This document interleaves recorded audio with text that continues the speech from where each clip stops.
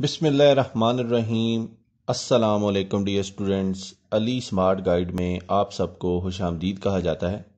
हमारे पास percentage series का एक इंपॉर्टेंट क्वेश्चन है, जिसकी स्टेटमेंट कुछ इस तरह से है। If 200 percent of a number is 90 then what is eighty percent of that number question में बताया गया है कि किसी नंबर का 200 परसेंट जो है वो 90 है। तो बताइए उसी नंबर का 80 परसेंट क्या होगा। अब हम इस क्वेश्चन को सॉल्व करते हैं। डियर स्टूडेंट्स इस क्वेश्चन को हम दो मेथड से सॉल्व करेंगे। सबसे पहले हम इसको मेथड वन से सॉल्व करते हैं। तो मेथड वन एक परसेंटेज का फार्मूला है जो हमें याद रखने की ज़रूरत है, वो फार्मूला है percentage of any number is equal to percentage is multiplied by that number is divided by hundred अब क्वेश्चन की स्टेटमेंट में उन्होंने हमें बताया है, इब्तदाई स्टेटमेंट में, कि if 200 percent of a number is 90 यानी कि किसी नंबर का जो परसेंटेज है 200 वो 90 है तो ये उन्होंने हमें बताया है 90 और परसेंटेज उन्होंने हमें बताई है 200 नंबर हमें नहीं पता इज़ डिवाइडेड बाय 100 के। तो hundred into two are two hundred तो हम इसको लिख सकते हैं। Two is multiplied by number is equal to ninety तो टू यहाँ पे मल्टीप्लाई हो रहा है, दूसरी साइड पे जब डिवाइड होगा तो हमें जो नंबर है वो हासिल होगा। Ninety is divided by two और ये बनता है फोर्टी फाइव के। अगेन हम परसेंटेज का जो फार्मूला शुरू में लिखा था, उसकी तरफ़ मूव करते हैं। Percentage of any number is equal to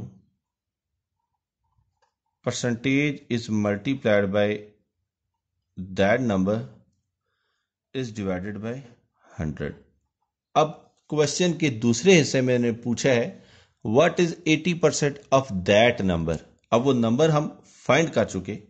इसका मतलब है 80 परसेंट ऑफ़ एनी नंबर यानी कि दैट नंबर वो जो हम अभी कैलकुलेट कर चुके हैं तो अब ये एनी नंबर नहीं रहा, ये 45 बन गया।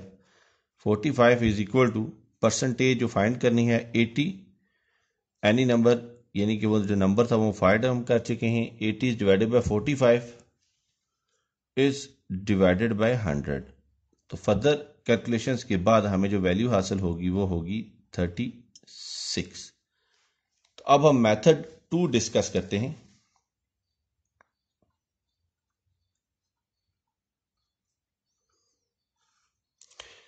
क्वेश्चन की इब्तदाई स्टेटमेंट ने हमें बताया है कि 200 percent of a number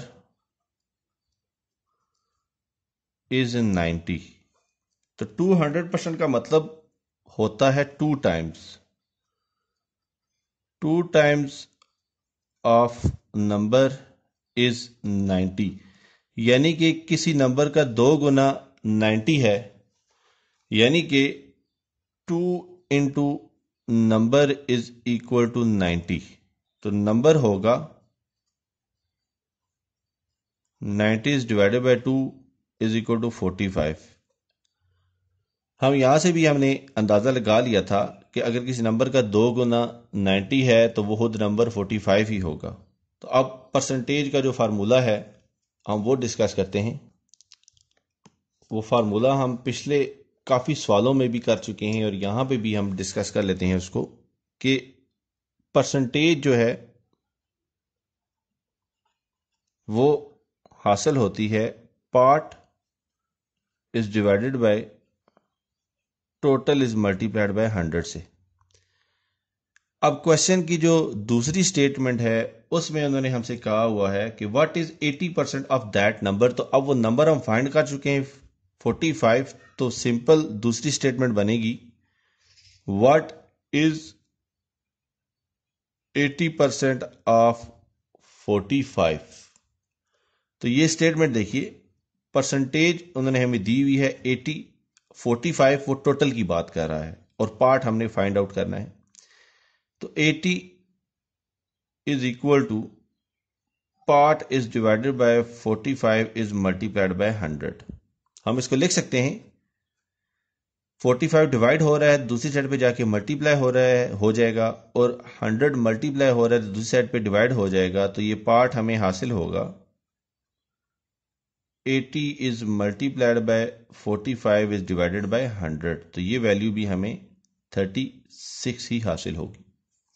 dear students, दो मेथड्स हैं हमारे पास। दोनों मेथड मेथड से हमने क्वेश्चन सॉल्व किया है। तो जो मेथड आपको ज़्यादा फिजिबल लगता है, आप उसी को फॉलो कीजिए। अब यहाँ पे देखिए, लिखा हुआ है व्हाट इज़ 80 परसेंट ऑफ़ 45 और मैंने 45 को टोटल कहा है। पार्ट क्यों नहीं कहा? इसकी वजह यह है कि अगर वो हमें यह कहता कि 30 इज़ 80 परसेंट ऑफ़ वाट तो तब वो 30 होता पार्ट और वट जो होता वो होता टोटल लेकिन यहाँ पे उन्होंने कहा है 80 परसेंट ऑफ़ 45 इज़ तो यहाँ पे 45 जो है ये टोटल में ही आएगा। तो डियर स्टूडेंट्स दुआ में याद रखिएगा। अल्लाह हाफिज। अस्सलाम वालेकुम